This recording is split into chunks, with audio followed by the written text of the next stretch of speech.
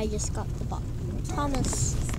I will do a more better review when we get back to the house with Percy.